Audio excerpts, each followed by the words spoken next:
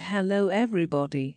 Welcome to Dreamland Fairy Tales audio books. The story we are about to read is about one of the stories in the book Just So Stories by Rudyard Kipling. The story is called The Cat That Walked by Himself. Just So Stories for Little Children is a 1902 collection of origin stories by the British author Rudyard Kipling. Considered a classic of children's literature, the book is among Kipling's best known works.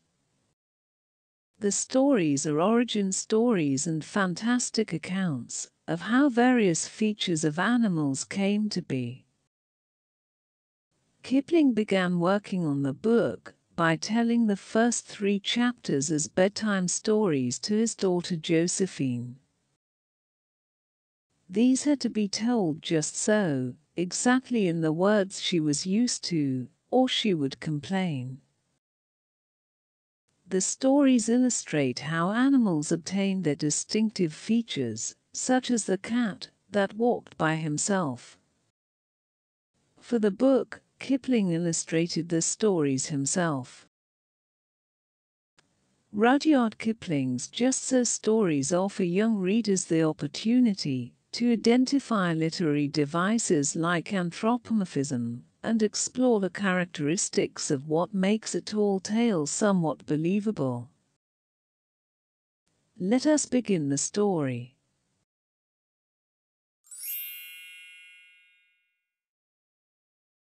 Hear and attend and listen, for this befell and behappened and became and was, O my best beloved, when the tame animals were wild. The dog was wild, and the horse was wild, and the cow was wild, and the sheep was wild, and the pig was wild as wild as wild could be, and they walked in the wet wild woods by their wild lones. But the wildest of all the wild animals was the cat. He walked by himself, and all places were alike to him. Of course, the man was wild too. He was dreadfully wild.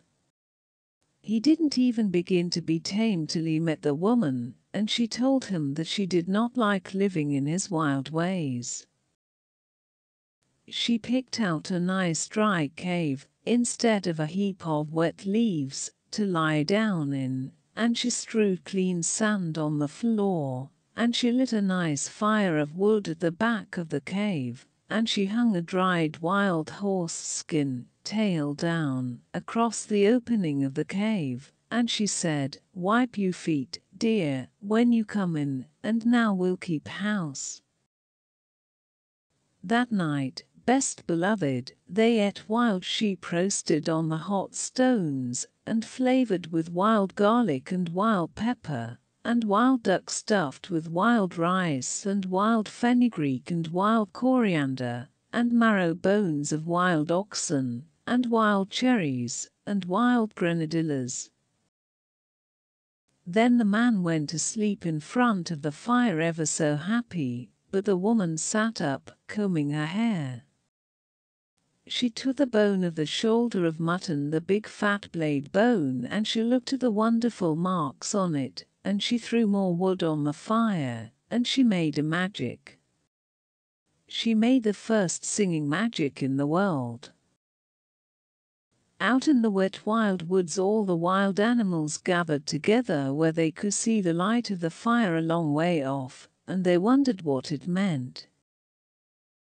Then Wild Horse stamped with his wild foot and said, O my friends and O my enemies, why have the man and the woman made that great light in that great cave, and what harm will it do us? Wild Dog lifted up his wild nose and smelled the smell of roast mutton, and said, I will go up and see and look, and say, for I think it is good. Cat, come with me. Nenni, said the cat.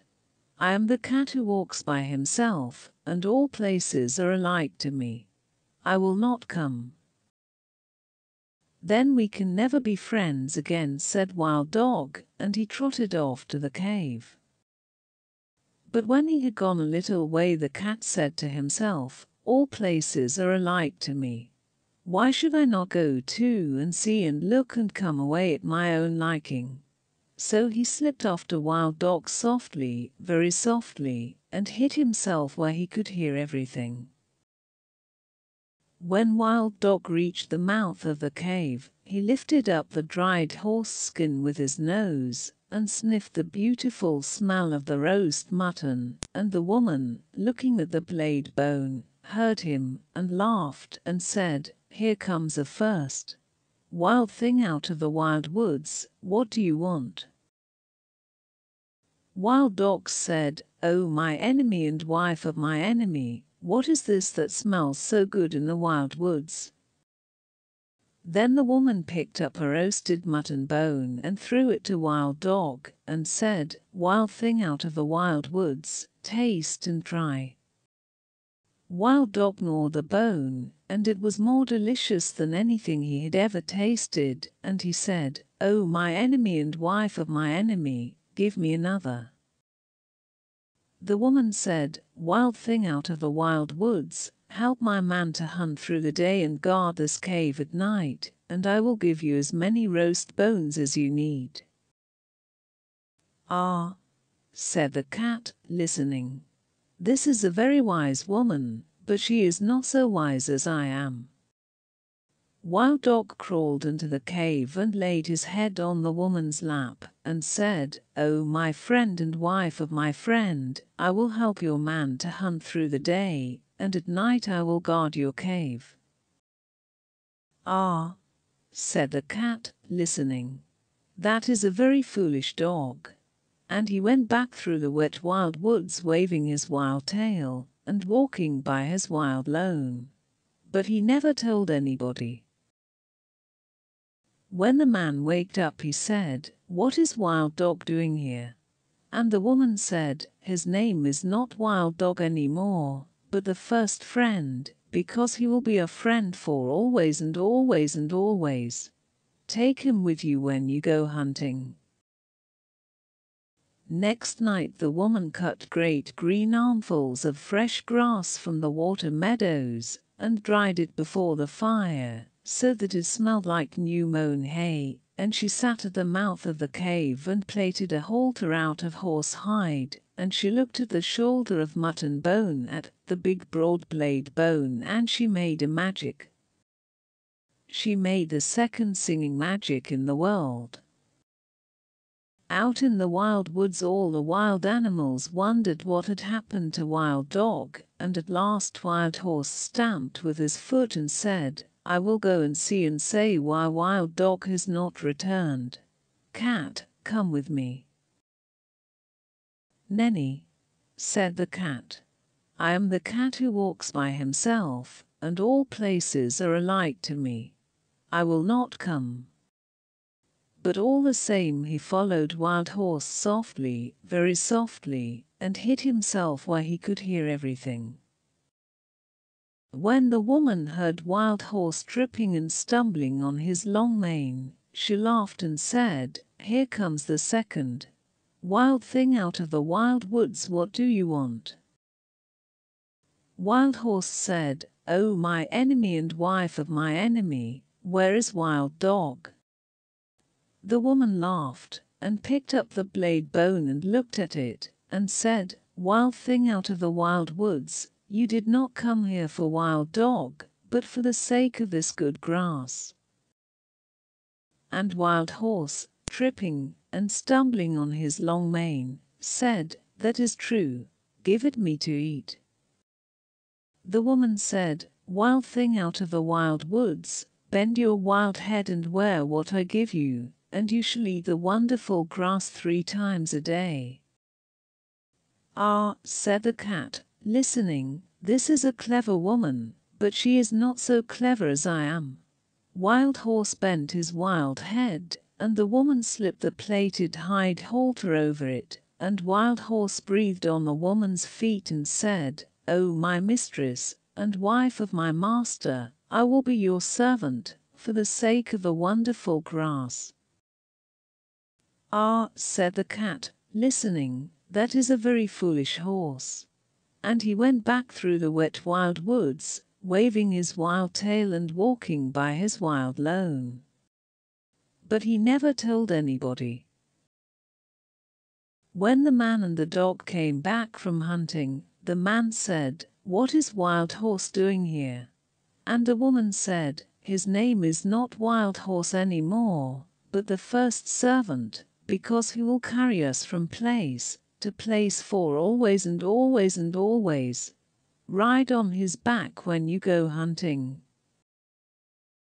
Next day, holding her wild head high, that her wild horns should not catch in the wild trees, Wild Cow came up to the cave, and the cat followed, and hid himself just the same as before, and everything happened just the same as before, and the cat said the same things as before, and when Wild Cow had promised to give her milk to the woman every day in exchange for the wonderful grass, the cat went back through the wet wild woods waving his wild tail and walking by his wild lone, just the same as before. But he never told anybody. And when the man and the horse and the dog came home from hunting and asked the same questions same as before, the woman said, her name is not Wild Cow anymore, but the giver of good food. She will give us the warm white milk for always and always and always, and I will take care of her, while you and the first friend and the first servant go hunting. Next day the cat waited to see if any other wild thing would go up to the cave, but no one moved in the wet wild woods, so the cat walked there by himself, and he saw the woman milking the cow, and he saw the light of the fire in the cave, and he smelled the smell of the warm white milk. Cat said, O oh, my enemy and wife of my enemy, where did Wild Cow go? The woman laughed and said, Wild thing out of the wild woods, go back to the woods again, for I have braided up my hair, and I have put away the magic blade bone, and we have no more need of either friends or servants in the cave. Cat said, I am not a friend, and I am not a servant. I am the cat who walks by himself, and I wish to come into your cave. Woman said, Then why did you not come with first friend on the first night? Cat grew very angry and said, Has wild dog told tales of me? Then the woman laughed and said, You are the cat who walks by himself, and all places are alike to you. You are neither a friend nor a servant. You have said it yourself. Go away and walk by yourself in all places alike. Then Cat pretended to be sorry and said, Must I never come into the cave? Must I never sit by the warm fire? Must I never drink the warm white milk? You are very wise and very beautiful. You should not be cruel even to a cat. Woman said, I knew I was wise, but I did not know I was beautiful. So I will make a bargain with you. If ever I say one word in your praise, you may come into the cave. And if you say two words in my praise, said the cat. I never shall, said the woman, but if I say two words in your praise, you may sit by the fire in the cave. And if you say three words, said the cat. I never shall, said the woman, but if I say three words in your praise, you may drink the warm white milk three times a day for always and always and always. Then the cat arched his back and said, Now let the curtain at the mouth of the cave, and the fire at the back of the cave, and the milk pots that stand beside the fire. Remember what my enemy and the wife of my enemy has said. And he went away through the wet wild woods waving his wild tail and walking by his wild lone. That night when the man and the horse and the dog came home from hunting, the woman did not tell them of the bargain that she had made with the cat, because she was afraid that they might not like it. Cat went far and far away and hid himself in the wet wild woods by his wild lone for a long time till the woman forgot all about him.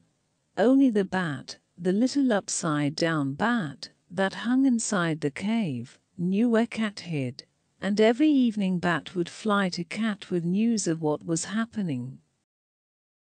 One evening Bat said, There is a baby in the cave. He is new and pink, and fat and small, and the woman is very fond of him. Ah, said the cat, listening, but what is the baby fond of? He is fond of things that are soft and tickle, said the bat. He is fond of warm things to hold in his arms when he goes to sleep. He is fond of being played with. He is fond of all those things. Ah, said the cat, listening, then my time has come. Next night Cat walked through the wet wild woods and hid very near the cave till morning time, and man and dog and horse went hunting. The woman was busy cooking that morning, and the baby cried and interrupted. So she carried him outside the cave and gave him a handful of pebbles to play with. But still the baby cried. Then the cat put out his paddy paw and patted the baby on the cheek, and it cooed, and the cat rubbed against its fat knees and tickled it under its fat chin with his tail. And the baby laughed, and the woman heard him and smiled. Then the bat, the little upside down bat that hung in the mouth of a cave said, O my hostess and wife of my host and mother of my host's son, a wild thing from the wild woods, is most beautifully playing with your baby. A blessing on that wild thing, whoever he may be, said the woman, straightening her back, for I was a busy woman this morning, and he has done me a service. That very minute and second, best beloved, the dried horse skin curtain that was stretched tail down at the mouth of the cave fell down, whoosh, because it remembered the bargain she had made with the cat, and when the woman went to pick it up, lo and behold, the cat was sitting quite comfy inside the cave. Oh, my enemy and wife of my enemy and mother of my enemy, said the cat, it is I. For you have spoken a word in my praise, and now I can sit within the cave for always and always and always. But still I am the cat who walks by himself, and all places are alike to me. The woman was very angry, and shut her lips tight, and took up her spinning wheel, and began to spin. But the baby cried, because the cat had gone away, and the woman could not hush it, for it struggled and kicked, and grew black in the face. O my enemy and wife of my enemy and mother of my enemy, said the cat, take a strand of the wire that you are spinning and tie to your spinning whorl and drag it along the floor, and I will show you a magic that shall make your baby laugh as loudly as he is now crying. I will do so, said the woman, because I am at my wit's end, but I will not thank you for it. She tied the thread to the little clay spindle whorl and drew it across the floor, and the cat ran after it and patted it with his paws and rolled head over heels and tossed it backward over his shoulder and chased it between his hind legs and pretended to lose it and pounced down upon it again till the baby laughed as loudly as it had been crying and scrambled after the cat and frolicked all over the cave till it grew tired and settled down to sleep with the cat in its arms. Now, said the cat, I will sing the baby a song that shall keep him asleep for an hour. And he began to purr, loud and low, low and loud, till the baby fell fast asleep. The woman smiled as she looked down upon the two of them and said, That was wonderfully done. No question but you are very clever, O cat.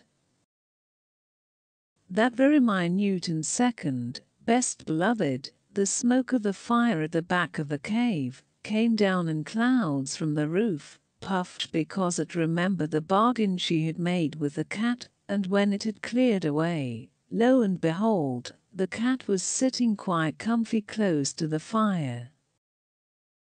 Oh, my enemy and wife of my enemy and mother of my enemy, said the cat, it is I, for you have spoken a second word in my praise, and now I can sit by the warm fire at the back of the cave for always and always and always.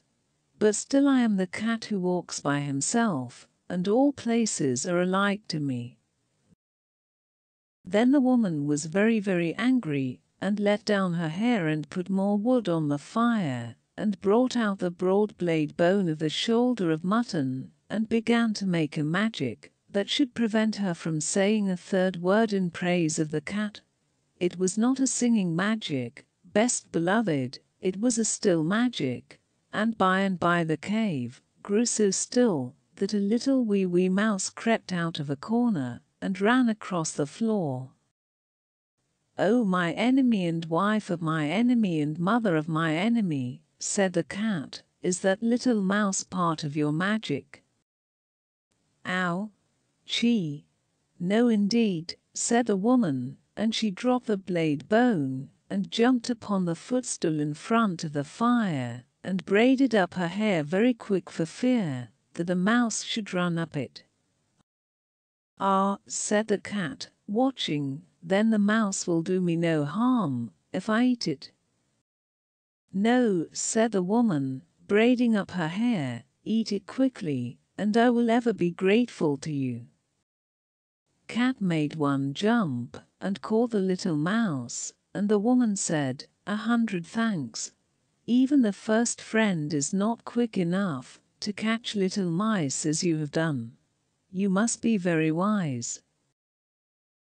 That very moment and second, O oh best beloved, the milk pot that stood by the fire cracked in two pieces, because it remembered the bargain she had made with the cat, and when the woman jumped down from the footstool, lo and behold, the cat was lapping up the warm white milk that lay in one of the broken pieces.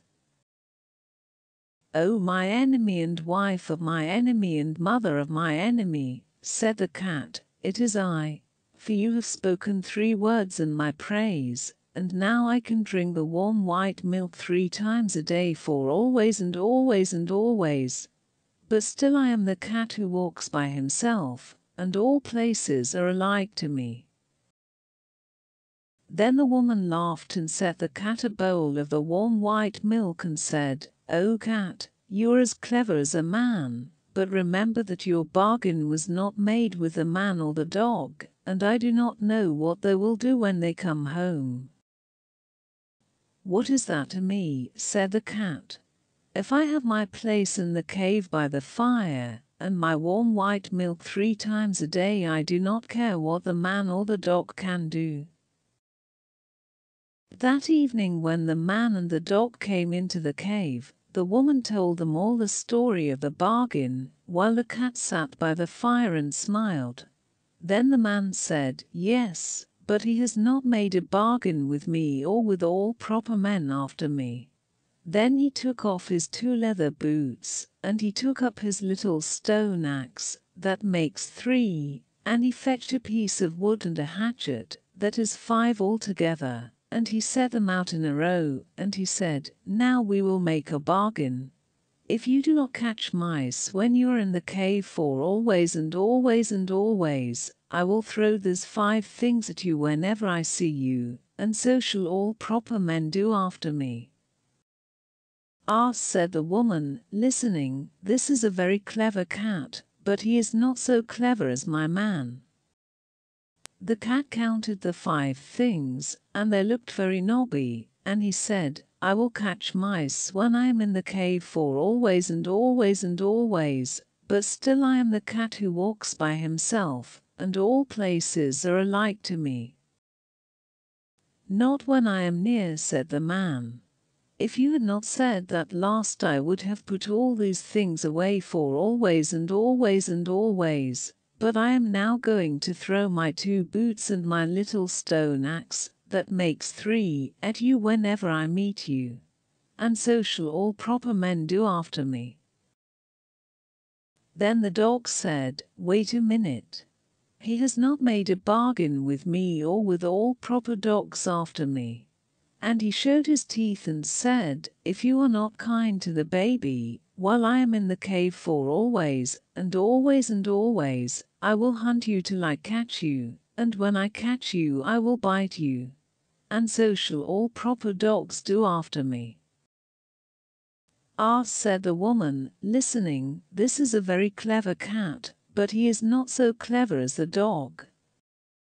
Cat counted the dog's teeth, and they looked very pointed, and he said, I will be kind to the baby while I am in the cave, as long as he does not pull my tail too hard, for always and always and always.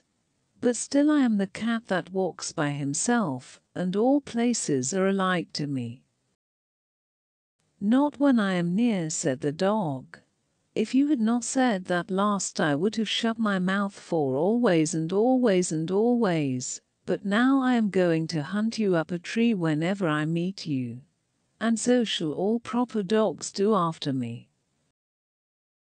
Then the man threw his two boots and his little stone axe, that makes three, at the cat, and the cat ran out of the cave, and the dog chased him up a tree, and from that day to this, best beloved, three proper men out of five will always throw things at a cat whenever they meet him, and all proper dogs will chase him up a tree.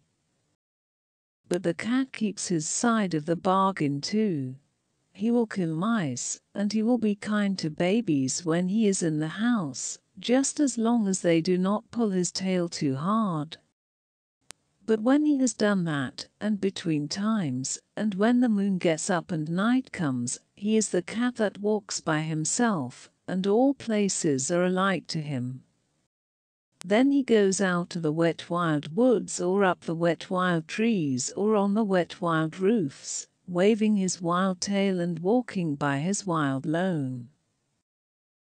And that is the tale the cat that walked by himself by Rudyard Kipling. You might also enjoy this interesting story about how the leopard got his spots. It is one of many stories in Kipling's Just So stories. If you enjoyed that story, leave a like and do not forget to subscribe to Dreamland Fairy Tales audio books. Hit notification bell button to be updated to our latest fairy tale stories and enjoy a complete collection of short stories for children. I hope you enjoyed reading with me. Until next time, goodbye.